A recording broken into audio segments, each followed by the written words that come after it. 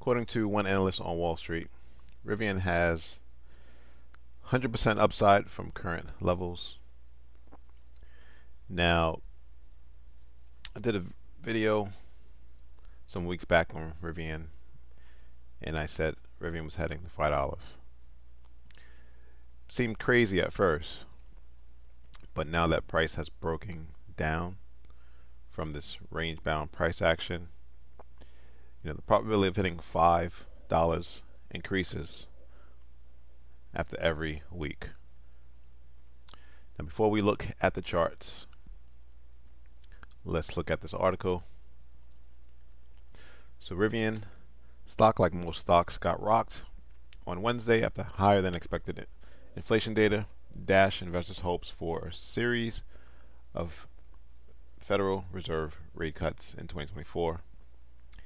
Now, as interest rates go up, uh, the cost of capital increases, and over the last 18 to 24 months, that has put a dampen on um, demand for uh, discretionary items, um, including EVs. Nevertheless, according to Bank of America, uh, one analyst thinks that one should not be worried. So inflation or no inflation, rate cuts or no interest rate cuts, Rivian stock price will more than double and hit $21 a share within a year, according to their analysts. Now, the gentleman's name is John Murphy. He says investors are focusing on car buying demand for EVs, so it makes sense to to say demand is important for Rivian. Last year, after all, Rivian produced 57,000 electric trucks, but demand for them was so weak that it was only able to deliver 50,000 of them to willing buyers. Now, longer term, though, he thinks Rivian's ability to produce, in particular its ability to produce its new R2 and R3 electric SUVs, is a bigger factor in whether Rivian stock will double. Why? Well, the reason is that producing and trying to sell only R1T electric trucks and R1S electric SUVs is costing Rivian nearly $6 billion a year in cash burn, but Rivian only has about 9.4 billion in the bank.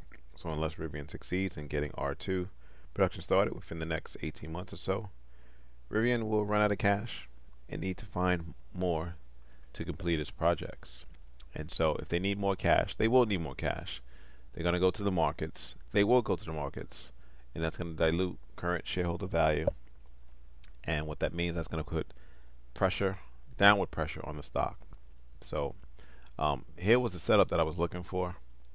Um, this was on earnings. You had this drop in price basing candles at a level of interest where that was support and resistance in the past.